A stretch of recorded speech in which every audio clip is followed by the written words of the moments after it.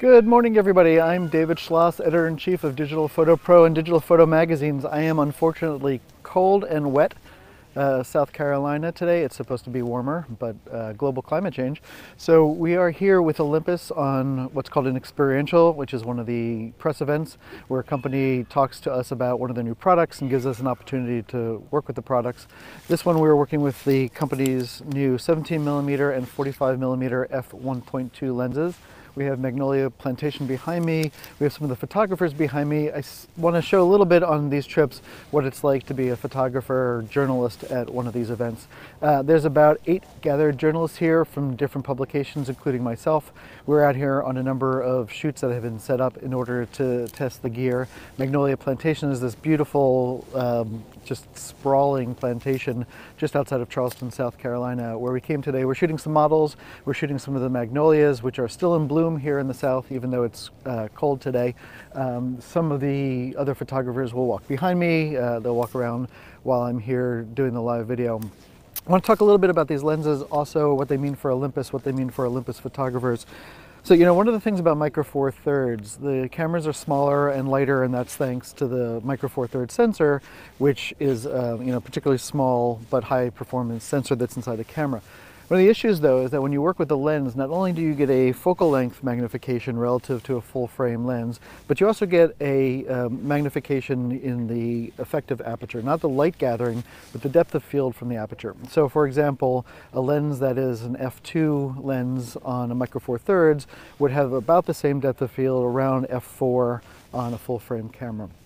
So one of the issues that that gives photographers who are working with a small system like the Olympus camera is uh, issues when it comes to really uh, nice depth of field or what a lot of people call bokeh or bokeh, depending on where you're from. That's because if you have a lens with a uh, f2.5 or you know 2 uh, widest aperture on these cameras, those lenses are actually going to look like a 4 or a 5.6 lens just in terms again of depth of field. So what Olympus has now uh, out and what we're here to test is two of three new lenses in their uh, series of pro lenses that have a maximum aperture of f1.2. So that gives you about an f2.5 equivalent on a full frame, frame camera. But one of the things that the engineers that are here who will probably walk behind me at some point have been talking about is the lengths that Olympus went through to design a lens that not only has good wide uh, open aperture and bokeh, but what they like to call feathered bokeh. All the companies have a different term for the type of bokeh that um, they produce. So there's a couple different types of bokeh, and for those of you who don't know what it is, we're talking about the soft focus that happens in the part of a, an image that is the out of focus part of the image. Uh, a lot of cameras, or a lot of lenses that have soft defocus will have uh, bokeh, it's the quality of the softness. Some of them produce uh, just a, like a solid ring, so if you've seen a picture of Christmas lights, for example, and out of focus in the background, it might be like a solid ring of light. Some of them have a, some people call it donut bokeh, which is a softer ring in the middle, a thicker ring on the outside. What Olympus with these lenses and what a lot of companies with their new lenses are trying to do is make a much softer, smoother background defocus in order to make the bokeh stand out less. Now, why would you want the bokeh to stand out less? So when you're taking a picture of something like a model, you're taking a picture of a car or food, and there's lights in the background that are out of focus, you don't really want those lights to be the main subject most of the time. And with a bokeh where there's just bright circles in the background, that jumps out to the human eye, you tend to see that more. So what Olympus is trying to do with the with this lens is have a feathered bokeh, which is just a smoother bokeh. We've seen similar things on some of the new lenses uh, from other manufacturers.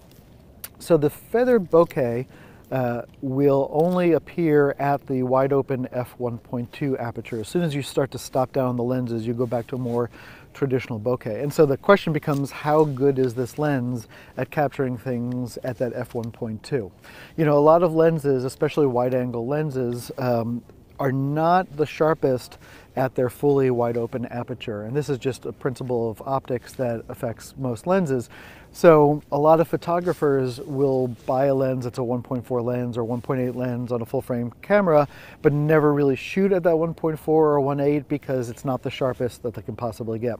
Uh, lens technology has really improved. We saw some of the simulation software that Olympus uses in order to make these lenses. They can really uh, determine what the bokeh is supposed to look like and they can backwards engineer the lenses to create that. Whereas in the past, lens engineers would design a lens and the bokeh would be a result of the other things that was happening in the design. Here they can drive it with the, the design to the bokeh.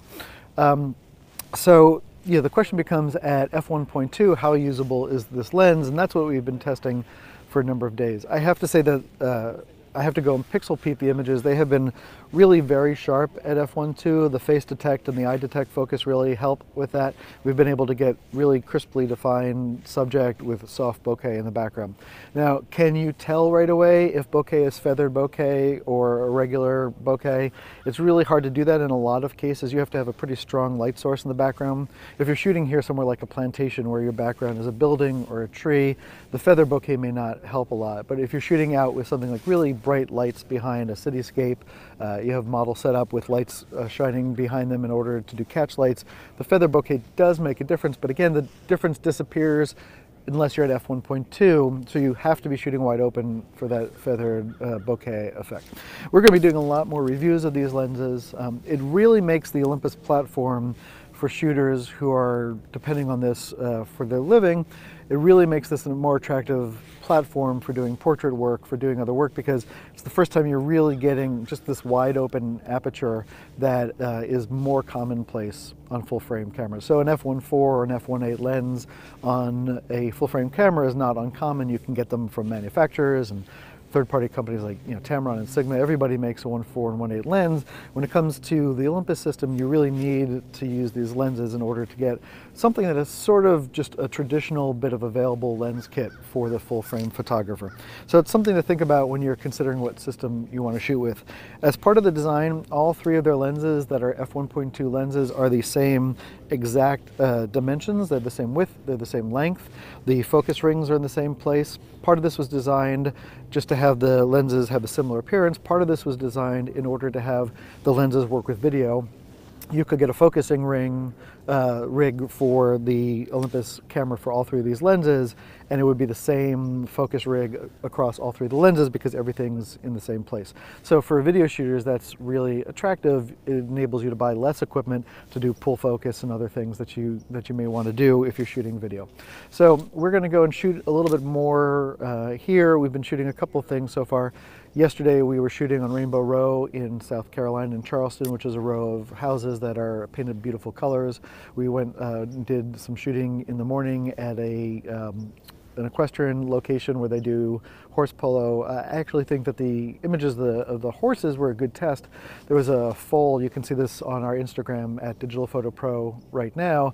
There was a foal, a baby horse, that as the polo horses were starting to run around, it got really excited and it started to buck and gallop and it, it wanted to play also. And uh, I happened to be in the right spot when it was galloping and I, I you know, I caught the, the horse happened to be at f1.2. You can see sharpness on one of the eyes of the horse and that the focus starts as it goes down the horse. It's really a nice example of quick autofocus in today's cameras and how really great they are at capturing things that just happen to come along. Uh, so we did some of that yesterday. We did some shooting inside restaurants uh, where we had some nice uh, ability to track things that were going down a line. For shooters who are looking for soft focus, great lenses. Again, we're going to be doing more reviews. Today we're here. I'm really looking forward to the next stop, which is a distillery, which is why I'm doing the video here, because we're going to be doing a tasting at the distillery, and it's like five minutes to 11 right now, so by noon we should be drinking whiskey. Uh, I also walked out a little bit last night, took some pictures of Christmas lights and some other things in downtown Charleston to get a feel of how this camera works, not only at f1.2, but also at night. Another nice thing about having a wide open lens, remember I said that the effective aperture uh, on a full frame camera would be different. The light gathering capabilities, however, are not. And so when you're shooting this lens at f1.2, even though the depth of field might uh, be an apparent the same as a 2.5 on a full frame camera, the light gathering at f1.2 uh, is the same. So that's really great for astrophotography is one area where I would really like to spend some time with this camera. Um, 17 millimeters is a little bit not quite wide enough for most astrophotography work. I would probably use it if you were shooting a landscape format where you had a building with a Milky Way going off to it or a tree or some other geological feature that was defining the shot. Um, it doesn't quite capture as much of the sky as I usually like to. However, that said, at f1.2 you're able to get a lot of light coming into the lens, which means you can use a lower ISO, which means you can get an image that requires less processing, has less sensor noise. Um, so again, we're here in Charleston, South Carolina. We're testing these lenses. Wanted to just show you a little bit. Uh, normally right now we would have the models out right behind us uh, and shooting them, but it's been pretty rainy and drizzly, uh, so we're not going to take them out and make them stand in the rain. I'm going to have more reviews of the Olympus lenses up shortly on our website. There will be images for the next few days on the at Digital Photo Pro Instagram feed. Uh, we will have some sample images also that you can look at when the articles come out at, at a larger size, more impressions, and we'll have some blog posts coming up just talking about the trip and the things we noticed about working with the camera and working with these lenses. If you want more information on Digital Photo Pro, go visit us at digitalphotopro.com. You can also visit Digital Photo Magazine at dpmag.com and also Outdoor Photographer Magazine, our sister publication at outdoorphotographer.com. If you need any more information from me, you can ask questions in the comments below. I'll be happy to answer them. Or you can find me on Twitter and Instagram at David J. Schloss. I'll put that in the notes below when I go back and edit this video.